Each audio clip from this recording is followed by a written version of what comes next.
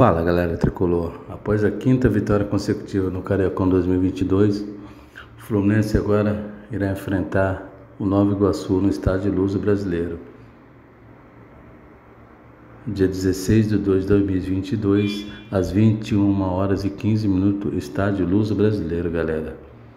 A provável escalação do Fluminense é Fábio no gol, Samuel Xavier, Nino Lucas Claro e Cris Silva.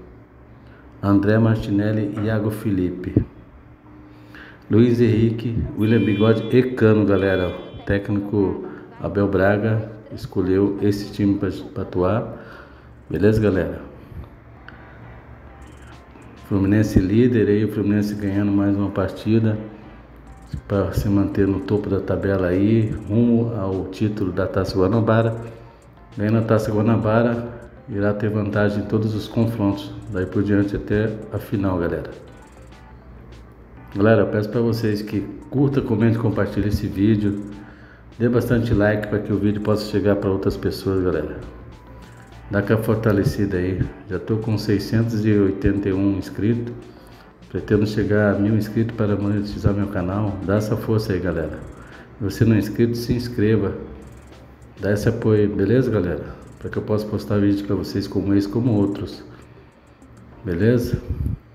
Fiquem todos com Deus. Saudações tricolores. Valeu. Mais tarde a gente vai estar junto aí, torcendo para Fluminense. Né? Espero coroar com, com vitória e todos nós saímos felizes aí com esses três pontos. A gente sabe que todos os jogos são difíceis né, no campeonato, né? Toda, toda equipe entra para vencer né? E a equipe do, do Nova Iguaçu, com a qualidade que eles têm, né? Eles vão querer em busca da vitória. Mas a gente precisa desses três pontos, né? O campeonato, no, o nosso objetivo né? de, de, de, de, em busca de levantar a taça. Então é um, mais um jogo que a gente tem que ir em busca da vitória e permanecer na liderança.